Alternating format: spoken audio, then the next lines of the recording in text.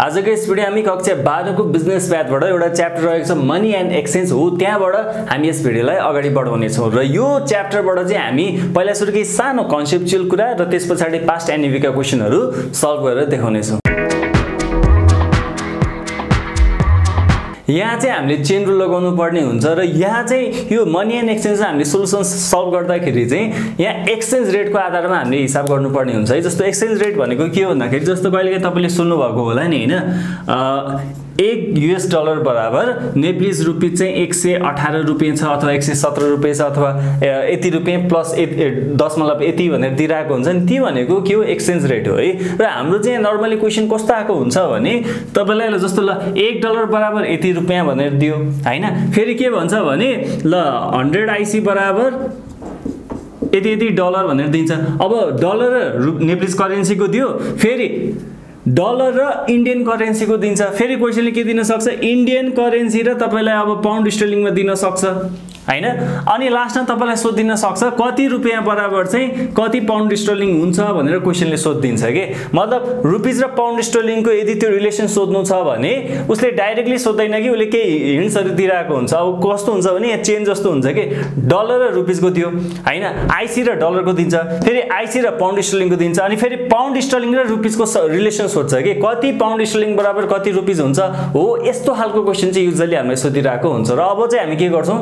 Past एनइभीका क्वेसनहरूलाई यहाँ complete solution गरेर देखाउनेछौँ यहाँ हामीले two thousand seventy six set बीको question लिएर आएका छौँ र क्वेसनमा के भनेको छ भन्दाखेरि a merchant in Nepal buys goods in London to the value of pound sterling one thousand है एउटा नेपालको एउटा व्यापारी थियो उसले लन्डनमा गएर एउटा सामान किन्यो र त्यो सामानको भ्यालु के थियो हजार पाउन्ड स्टलिङ थियो। है जस्तो अब लन्डनमा गएर नेप्लिज रुपिस त चल्दैन नेप्लिज पैसा मुद्रा त्यहाँ चल्दैन।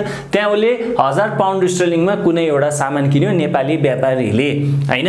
अब हामीलाई क्वेसनले फर्दर इन्फर्मेसन के भनेको छ भन्दाखेरि find the value of goods in NC र जुन यो हजार पाउन्ड स्टलिङमा किनेको थियो यसको त्यो सामानको भ्यालु नेप्लिज करेन्सीमा कति हुन्छ भनेर सोधिरहेको छ एनसी भनेको नेप्लिज करेन्सी नेप्लिज करेन्सी कति रुपियाँ पर्न गयो त? हजार पाउन्ड स्टलिङमा त किनेको हो। पाउन्ड स्टलिङमा चाहिँ नेप्लिज करेन्सी कति पर्न गयो भनेर सोधिरहेको छ।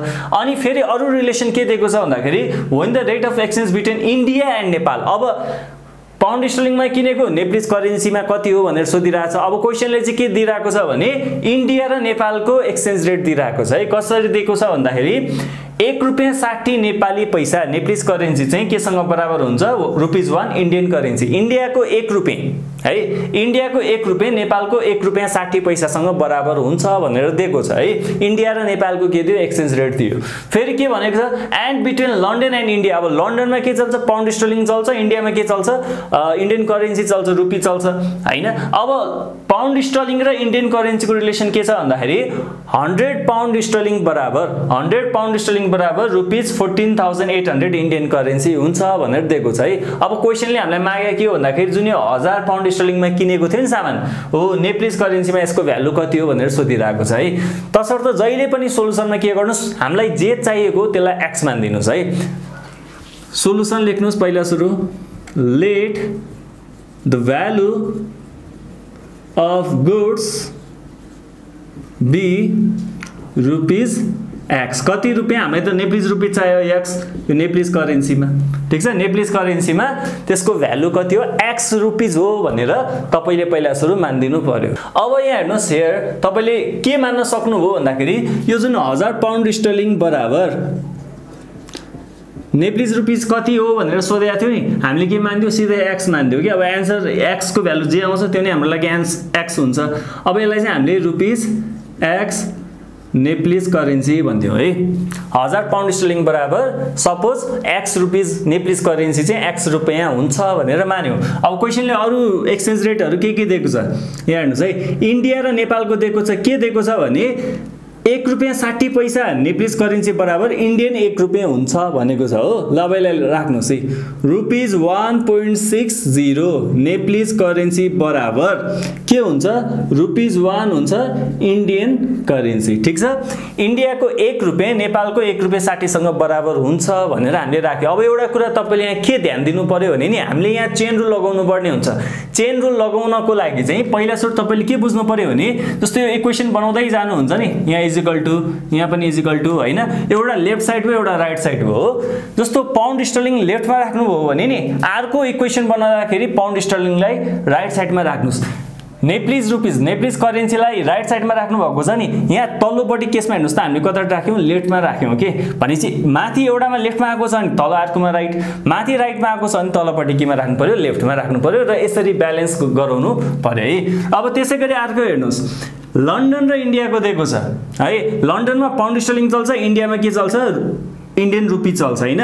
भनेको अब यसलाई यसरी लेख्न सक्नुहुन्न कि? जस्तो क्वेसनले त यसरी दिएको छ नि हन्ड्रेड पाउन्ड स्टर्लिङ बराबर rupees fourteen thousand eight hundred IC हुन्छ भनेर क्वेसनले दिएको छ नि तपाईँले यसरी राख्नु हो भने मिस्टेक हुन्छ है। किन मिस्टेक हुन्छ भन्दाखेरि ल हेर्नुहोस् त पाउन्ड स्टर्लिङ अघि नै हामीले लेफ्ट साइडमा राखेको छ अनि यो इक्वेसनमा पनि लेफ्ट साइडमा राख्ने। फेरि यो आइसी इन्डियन करेन्सी रुपिज हेर्नुहोस् त अघि राइट साइडमा यहाँ पनि राइट साइडमा राख्नु भने मिल्दैन कि? यसलाई चाहिँ अब हामीले ब्यालेन्स गराउनु पऱ्यो कसरी ब्यालेन्स गराउने भन्दाखेरि पाउन्ड स्टर्लिङ अघि लेफ्ट साइडमा राखेको थियो नि माथिको इक्वेसनमा हो।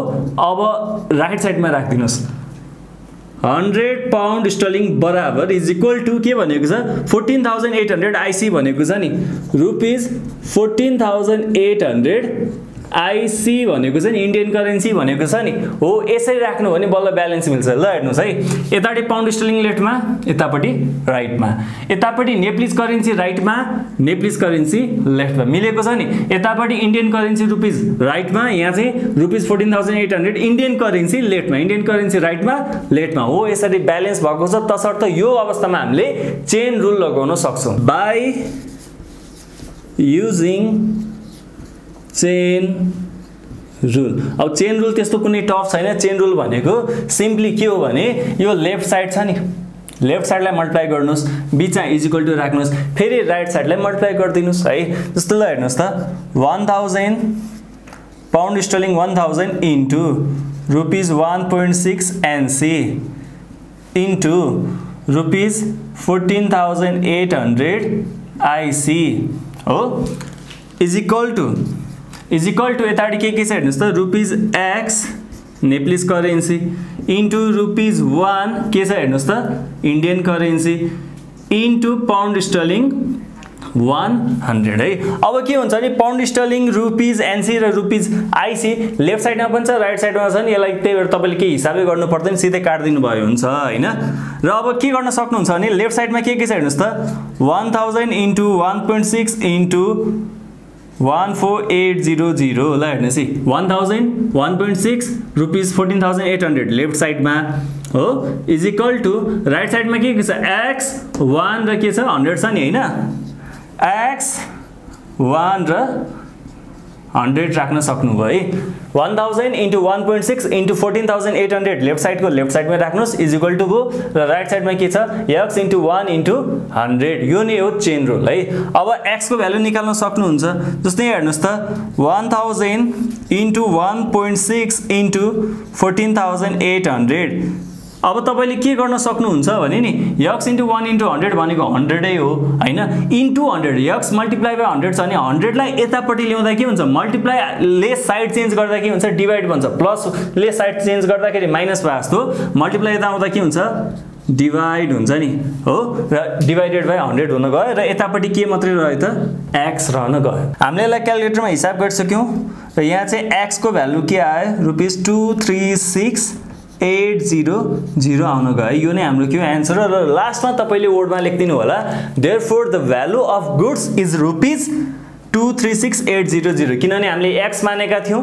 त्यो हजार डलर पाउन्ड स्टर्लिङको भ्यालु एक्स मानेका थियौँ भने त्यसको भ्यालु कति आयो? Rupees two three six eight zero zero यो नै हाम्रो के हुन गयो एन्सर हुन गयो।